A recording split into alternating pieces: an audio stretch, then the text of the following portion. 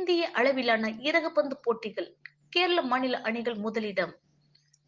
வேலூர் மாவட்டம் குடியாத்தத்தை அடுத்த நத்தம் கிராமத்தில் உள்ள இறகுப்பந்து விளையாட்டு அரங்கில் சிங்கப்பூர் சரவணன் நண்பர்கள் விளையாட்டு குழு சார்பில் இரண்டு நாட்கள் நடைபெற்ற தென்னிந்திய அளவிலான இறகுப்பந்து போட்டிகளில் கேரள மாநில அணிகள் முதலிடம் பிடித்தன.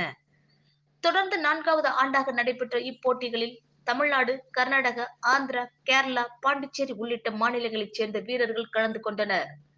நகர்மன்ற தலைவர் சவுந்தரராஜன் போட்டிகளை தொடங்கி வைத்தார்.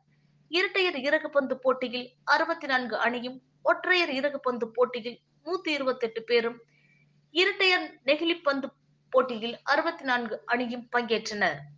வெற்றி பெற்ற அணிகளில் வீரர்களுக்கு ரூபாய் இரண்டு புள்ளி இருபத்தி ஐந்து லட்சம் பரிசுத் தொகை பகிர்ந்து அளிக்கப்பட்டது. போட்டியில் வெற்றி பெற்றவர்களுக்கு தாளையாத்தம் ஊராட்சி தலைவர் அமுல் அமர் பரிசு கோப்பைகளை வழங்கினார். போட்டிக்கான ஏற்பாடுகளை சரவணன் உதயராஜ் யுவராஜ் முரளி செந்தில்குமார் ரகுராமன் உள்ளிட்டோர் செய்திருந்தனர். இதில் ஏராளமானோர் பங்கேற்றனர்.